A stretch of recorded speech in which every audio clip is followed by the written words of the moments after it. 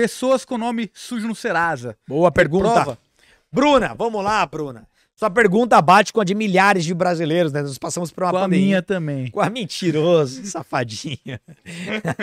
o Ramon tem uma mãe muito legalzinha que paga as dívidas dele. Bruna, vamos lá. A sua história bate com a maioria esmagadora dos brasileiros, principalmente no pós-pandemia. E, por que essa dúvida surge? Porque nós tivemos uma reforma relativamente recente no Código de Processo Civil que agora veio ser discutida sobre a questão da dívida barrar alguém num concurso público. E com isso, os jornais de concurso público, para vender matéria, para ter cliques, para ter alcance, começaram a vender o terror. Olha, a partir de agora a dívida vai reprovar, você que tem dívida vai cair na investigação social, não vai nem poder se inscrever em concurso. Tudo mentira. Ó, presta atenção, eu sou, eu sou advogado, eu posso falar isso com propriedade para vocês. O que é- esse dispositivo do Código de Processo Civil fala que é possível uma dívida ser fundamento, ser causa para barrar alguém num concurso, desde que aí vem alguns requisitos. Primeiro requisito, que o credor tenha solicitado isso judicialmente. Já vou dar um exemplo real. Segundo, que o juiz entenda pertinente e aí sim fundamente com base nas peculiaridades do caso concreto. E terceiro, que tenha uma sentença líquida muito certa nesse sentido. Eu vou dar um exemplo para vocês. Imagine que o Ramon tá dando calote em todo mundo, fazendo crediário, dívida, tá mobiliando o apartamento novo dele, fazendo festa todo dia, torrando, torrando crédito. E aí acaba ficando com um nome sujo. E aí o credor entra com a ação de cobrança contra o Ramon. E aí, na via judicial, o, cre- o credor ele junta alguns prints de redes sociais e fala: olha, juiz, o Ramon, ele diz que não tem dinheiro, mas cada final de semana ele tá viajando para um lugar diferente para fazer concurso público. Ele tá cheio da grana, pagando passagem aérea, hotel, taxa de inscrição. Então, como esse cara é um malandro e tá partindo para esse lado, proíbe esse cara de passar e tomar posse em concurso público até que ele pague a dívida. Então, veja, é um pedido específico. Aí o juiz analisa e fala: ó, realmente, não é qualquer caso. Porque poderia ser um pedido genérico. Pedido genérico nesse sentido não são aceitos, tá? Não, na verdade, a grana que era pra honrar os credores, ele tá torrando em concurso público. Então é um pedido específico. Nesse caso, eu vou barrar o Ramon com uma decisão até que ele honre com a dívida dele. Então percebe, é muito específico. Então pra você que às vezes só tem o nome negativado, no SPC, no Serasa, mas não tem nenhuma ação de cobrança, e se tem, o seu credor nem chegou a pedir que você seja barrado em concurso, não tem a menor chance do concurso te barrar. Então, via de regra, é a mesma, a regra é a mesma. A regra é: dívida não barra ninguém em concurso público. Ô, Diegão, a pergunta da Melancolia Animes. Vixe. Boa noite, Diego. Quando o curso, acredito que você tá falando do Elite, né? O Elite estará dis- disponível para compra. Vamos lá, vamos explicar que tem dois cursos. Vamos lá. Tem o Academia DP que já tá aberto para compras, inclusive o link tá na descrição desse vídeo. Então, para você que não quer perder tempo, diga, eu não quero nem esperar. Eu quero começar minha preparação. O link do Academia DP está abaixo aí na descrição. E o Elite DP, ele é a mais, ele vem além. Ele além de todo o conteúdo necessário das matérias para você estudar e passar, ele vê a nossa preparação completa, ele vê o nosso método de estudos, a mentoria para eu ajudá-los pessoalmente a produzir o cronograma de estudos de cada um, encontros mensais via Zoom ao vivo, fechados. Vocês vão estar numa comunidade de alunos focados na PCSP. Então, veja, esse grupo, essa comunidade vão jogar vocês pra cima. Tem que andar com pessoas que estão com o mesmo propósito que vocês e não andar com perdedores. E nós criamos essa comunidade. E o Elite DP, as vagas serão abertas ao final do evento Foco na PCSP nível médio. Então, o link do evento tá na descrição, se inscreva lá, mas vai abrir no final do evento. Digo, quero entrar agora, como é que eu faço? Entra pro Academia DP, porque lá no Elite a gente sempre prestigia quem já é aluno. Aí você vai ter a opção de fazer um upgrade, vai pagar bem menos e vai ganhar muito mais. Então, minha recomendação é, entra na academia.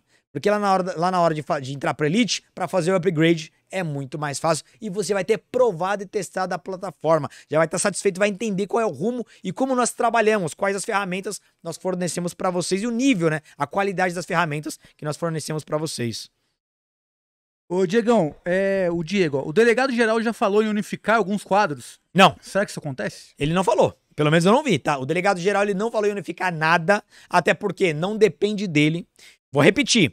Veja, para o, governador seguir a lei geral das polícias civis, cabe ao governador, por meio da sua assessoria, preparar um projeto de lei e mandar para a Assembleia Legislativa. Isso não passa pelos órgãos públicos, não passa pela Polícia Civil, não passa pela Cadepol. Porque é um não projeto de lei que a polícia discutiu e mandou para o governador como sugestão. É uma ideia que veio de cima, veio da União, tá? Então é diferente. E por isso, isso não é discutido em âmbito de a Cadepol, Delegacia Geral, Polícia Civil. Não há essa especulação, tá? Não há esse projeto interno de unificação. Ô, Diegão, vou responder rapidinho a Mônica que perguntou se vai ter TAF. TAF não tem, viu, Mônica? O Diego já falou, não, Não tem, tem, TAF. não tem Agora eu vou pegar do Ismael pra pegar mais uma vez, que o pessoal tá perguntando bastante sobre investigação social, Diegão. Pode perguntar. O Ismael perguntou se ter conta em site de aposta dá ruim na, na investigação O social. fato, ó, Ismael, Isso. Ismael, o fato de você ter conta em site de aposta significa que você é a vítima e não criminoso.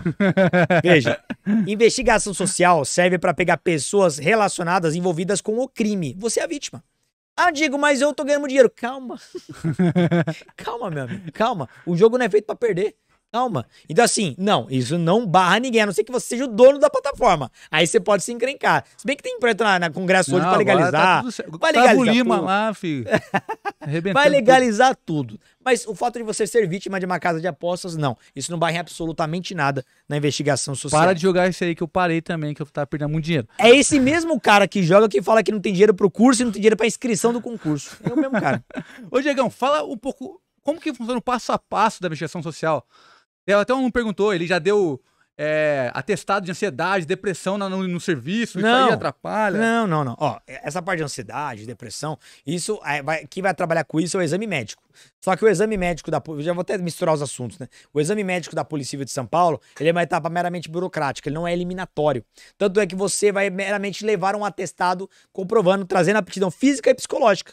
Se você tem um médico de confiança, ele te atestou, você leva e acabou, passou por essa etapa. Agora, ele não perguntou disso, né? Ele perguntou o quê? Se, se médico, se problema barra na investigação social. É, isso aí barra. Não, isso não barra ninguém na investigação social. Como é que funcionam as etapas da investigação social? Nós temos dois momentos. Entrega de certidões, aí é só parte escrita. Você vai levantar incidentes criminais, ficha corrida. Eu acho essa etapa ridícula. Porque se a própria investigação tem acesso a esse sistema, por que vai mandar o candidato levar? É ridículo, mas mandam vocês levarem. Vão ter que levar todas as certidões, não pode faltar nada e tal. E aí depois, alguns policiais civis vão ser destacados para irem atrás dos aprovados. Então eles vão atrás dos últimos lugares onde vocês moraram, onde vocês trabalharam, com quem vocês conviveram e vão perguntar sobre você. Porque às vezes você não tem passagem pela polícia, mas é envolvido com um crime. Imagina um cara que é traficante, nunca foi pego pela polícia, mas a vizinhança inteira sabe. Falou, ah, esse cara é bandido, mexe com droga, mexe com... Então, por isso tem que analisar a vida social e pregressa do sujeito aonde ele morou. Diego, mas o cara morou em Minas Gerais, no Rio de Janeiro e hoje está em São Paulo.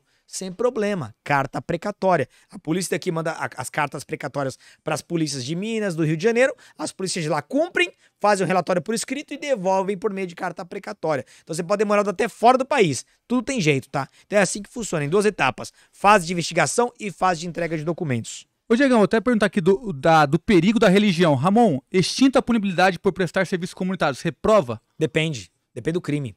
Porque, veja, a investigação social, ela não pega só atestado e saber se é ficha limpa ou ficha suja. Depende do crime. Se você prestou serviço à comunidade, e só você ter prestado serviço à comunidade é um crime ou de menor potencial ofensivo ou de médio potencial ofensivo, não é um crime grave.